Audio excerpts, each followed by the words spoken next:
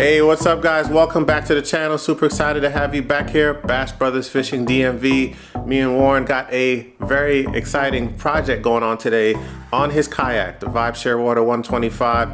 It's been a long time since we posted something about it and we're doing a big upgrade today. All right, so what we're doing today is finally putting a trolling motor on the battleship. You guys saw when I got this thing, I got the pedal drive initially as one of the accessories for it. I figured I'd get some exercise while I'm fishing. The biggest thing anybody that has a kayak understands on a windy day, you get in a whole lot of trouble trying to navigate a kayak while fishing. So you tend to do just as much navigation or trying to hold it in a spot versus actually throwing some bait in the water. So today we're putting on a MotorGuide Xi3 trolling motor with pinpoint GPS, which allows me to have an anchor feature, which you may know as spot lock. So that's gonna be a big plus on those windy days. Get out there on a kayak and be able to lock yourself in position wherever you wanna be and just go ahead and toss baits at your spot that you're trying to catch fish. For kayaks, they went ahead and got a shorter shaft because some guys were cutting the shaft and voiding any warranty that they would have had on their trolling motor. They went ahead and made one for kayaks that's 36 inches long as opposed to the longer ones for the bigger boats. Some of the parts that I got to do this installation is the mounting plate. We also have a quick release bracket with, from MotorGuide because you do not want to try to transport this kayak with the motor installed. Some other pieces are the trolling motor plugs. We have a 60 amp inline fuse a through hull wiring kit for the battery, some eight gauge wire. You can find that on Amazon. We'll link all of that in the description. And then some wire sleeving so we can neaten up some of the work that we're about to do. What we're gonna have powering this trolling motor is a Amped Outdoor lithium battery. As you know, if you watch our videos, Amped Outdoor batteries are used throughout our boats. In my John boat, I have three of them, two running a trolling motor, the other one running electronics, that's the 80 amp hour, and also in the Pelican Bass they got an 80 amp hour battery. These are some awesome, awesome batteries. They produce a lot of power, very reliable, completely maintenance free, and they're priced better than most batteries out there on the market. So I stand behind Amped Outdoors completely, and we're gonna add it to the kayak. And this is gonna power the motor and should provide Warren a lot of sustainable power and time out on the water, which is the most important thing. So we're gonna get right into it and we're gonna give a lot of details as we go. So if you're out there, you got a kayak just like this, have a different brand, whatever, and you're just trying to make an upgrade, which is probably why you clicked on this video. We have a lot of information for you. Let's get into it right now. All right, what's step one? What are we doing? Looks like we're doing a mounting plate. Yeah, we're gonna mount this mounting plate and then on top of the mounting plate, we're gonna put the quick bracket release so that we can take off and put on the motor with ease uh, okay. during transportation. And where did you get this from? So I got my mounting plate from Snipe Air. There are other manufacturers that make it, but Snipe Air has the handles on all three sides, which makes it easy if you want to carry the, the kayak from the front or use two hands and carry it from the sides. So let's go ahead and take off the front handle and then put on the mounting plate. And then after that, we'll put on the quick release bracket.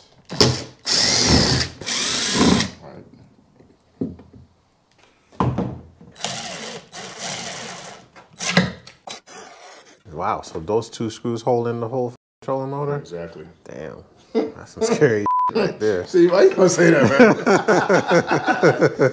man? hey, no, if that's how it was, hey, this is what this is designed for. So we got the Snipe Air base installed. Goes in simple with two screws. It's already cut to fit the specs of the kayak. So you don't have to drill into the base. It's already there. All you gotta do is drop the screws right in.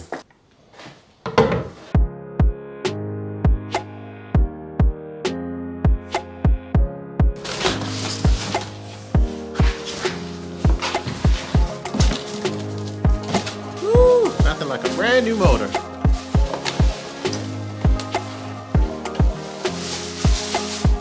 All right, now we've got the base of it here. This is for the quick release bracket. This is just one piece. We gotta get the second piece of the quick release bracket mounted onto the actual trolling motor. Now to mount the quick release bracket, we do have to remove the side plate of the trolling motor and that will give us access to bolting it in. We'll show you that in a second. Got the sides off and you can see these are the mounting points. So now we have access to it. You got it?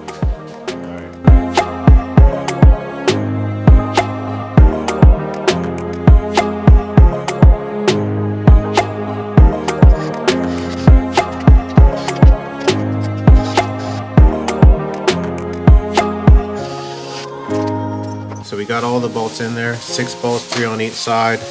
And just a quick note, the center bolts actually screw in a lot further.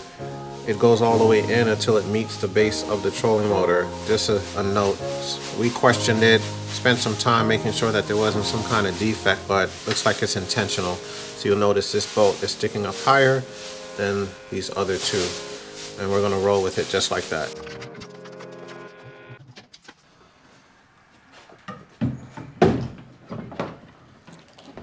Right on the mounting plate.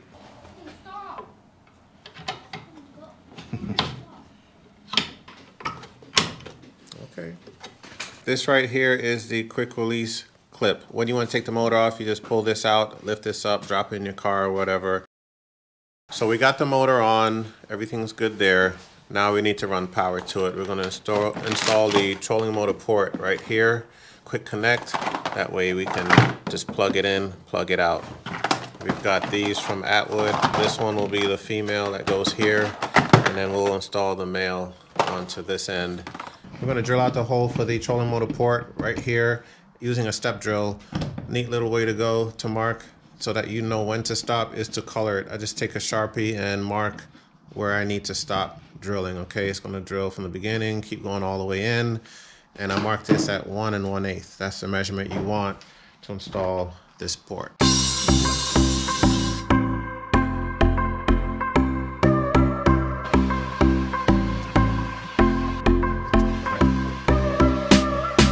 Got the front almost ready. The male port is wired up coming off the trolling motor.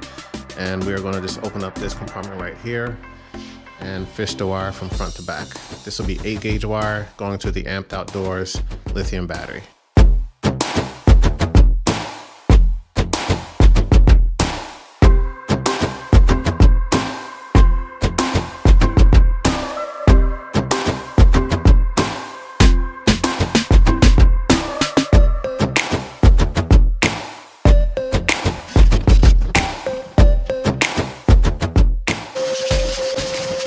This is in place. Looks wonderful, nice and secure. Wanna go to the rear of the boat. Got this long wire coming out here. And the idea right now is to run it along the channel down here to the side. Probably will drill through here and mount the 60 amp breaker. And I think we're gonna mount it somewhere in the center here. Come power off of that into the power terminal of the battery. We're going to fish the wire through here in the center, cut a one inch hole out here and use this these grommets that we got. This is Yak Attack through hull wiring kit. Fancy to say grommets. What we're going to do is take one and install it right there, screw it in. It, in the kit comes these half moon shape rubber grommets that go one on each side to complete a hole right there. And uh, it gives you flexibility. You could actually have different size wires and stuff like that because each one of these are, is a different size hole and you've got some larger ones here. We're gonna go with the larger one and cut it out. We're gonna slit out a little groove right there to match the size of this. This is very thick eight gauge wire. That's a duplex. So it has the, oh, he did it already. I just walked right into that. I didn't even realize Warren did it already. So I'll just show you it done. Here are the two halves. Just slide it right over. All we did was cut out the hole a little bit to make that work. So that's there. This will go around it on that plate. You'll see it all come together. All right, let's do it.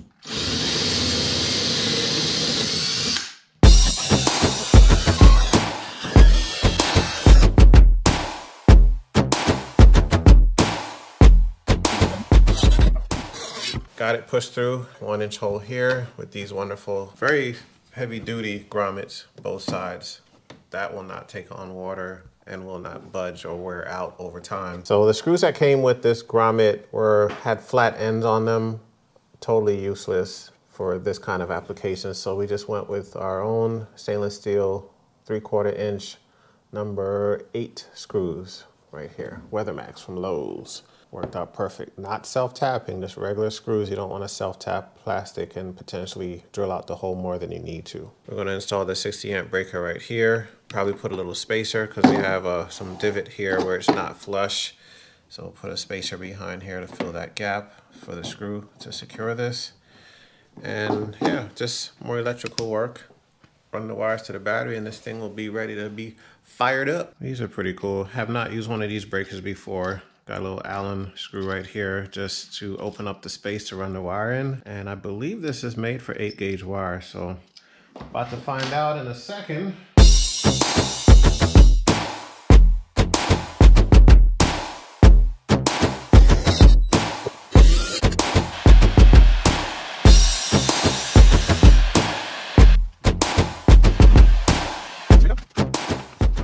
All the connections are made. We intentionally left extra cable here because ultimately we're going to be putting this into a battery box and the connections for the battery box may be further away than where they stand right now. And we can always shorten the cables once we get our permanent connections done. So in case you're wondering, why do they have so much wire hanging out? That was intentional to leave room for us to out which battery box, because we actually have two battery boxes here, but they're a little too big. They don't fit snug in the kayak properly. So we're gonna do some more research on that. Might have to DIY a box for ourselves. We're all connected and ready to test out the trolling motor. Gonna drop the prop on it and make sure everything works.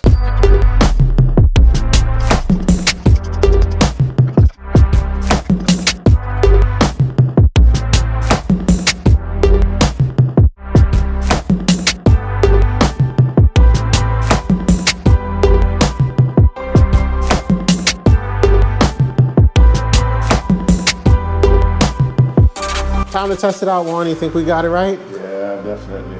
We definitely got it right. All right, I think so too. We took our time and, you know, just did our thing. Go ahead and plug it in. He's got his remote here. This is exciting stuff, man. Exciting stuff. Oh, We got a beep. There we go. We've got power.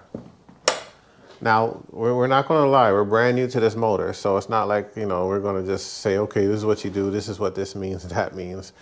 Looks like we've got battery power and we've got power period. Looks like we have battery level meter here and we've got a prop and looks like our GPS signal is there. We do have another cable here and honestly don't know what that's for yet.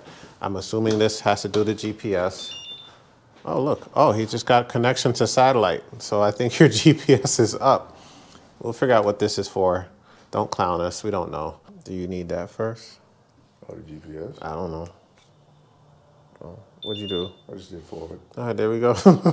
like, we're over here trying to figure it out, and you guys just seeing this real time. So we got everything lined up. We needed to link the remote, and it gives you instructions in the book. So we just linked it. And it's immediate, it's responsive immediately. As soon as he presses it, it comes right on no delays, anything like that. So we've got power, it works. That's, int that's interesting. Oh man, bruh, bruh. I'm having fun with this, bro.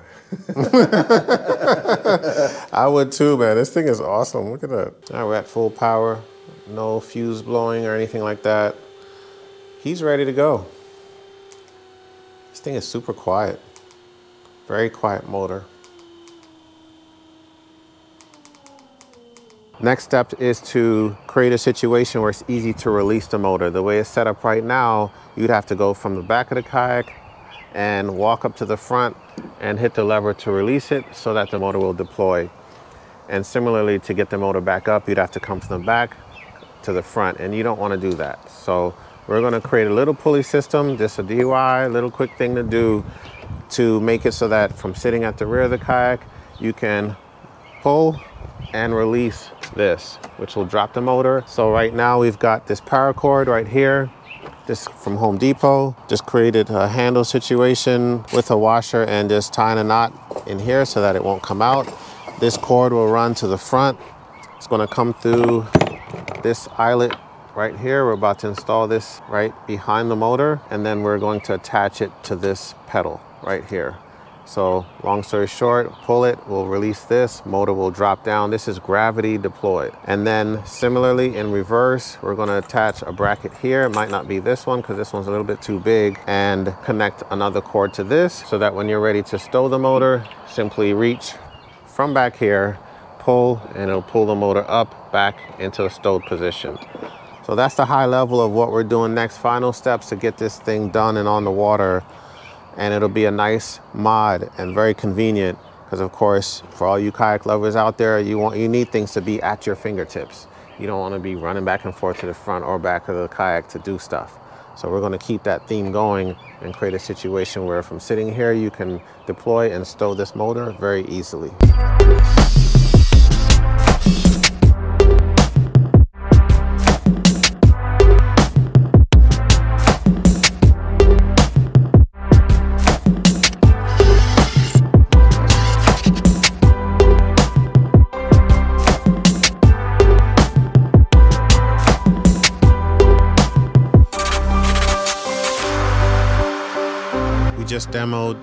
The deployment and it is smooth as butter and I'm not exaggerating. It takes very little effort. You're just pulling it lightly and it deploys. So right here, this is what we're using for the stow bracket so that when you're ready to stow the motor, you can.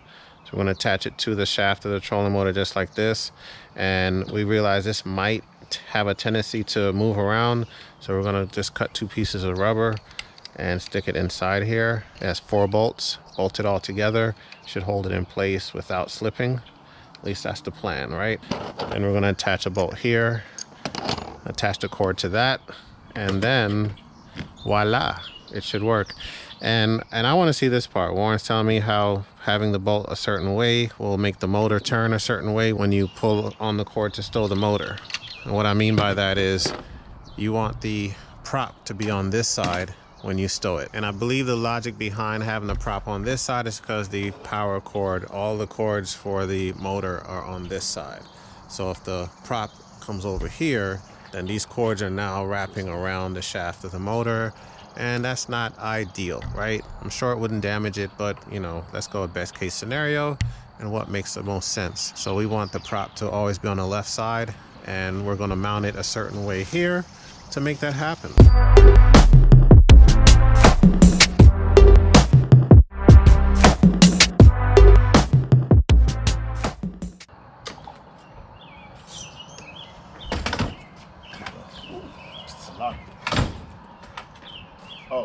Because I'm still holding this one. you got to let go of the deploy. All right. He just held on to both of them. Can't do that. else it'll never work. All right, one more time. All right, we're deployed. And then we're going to pull it in. Easy breezy.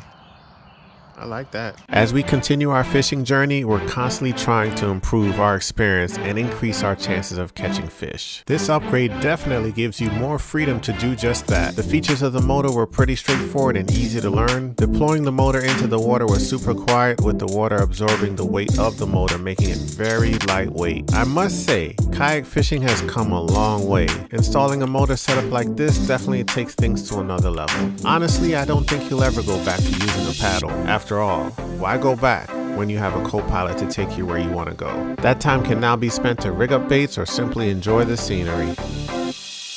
And don't worry guys, we'll post a follow-up video as well as a full review of this motor at the end of the season and use that video to also answer questions in the comments. Got some other cool instructional videos coming to the channel. Shout out to Amped Outdoors for supplying the battery powering this kayak. We'll leave our affiliate link down below so you can check these out. Any purchases using that link will help out the channel. I'll be upgrading the Rona with a brand new Minn Kota Ultrex and also adding some other goodies to the boat. So subscribe to the channel for more great content. We're on our way to 20k subscribers and would really appreciate it if you kindly subscribe to the channel and leave a like on this video.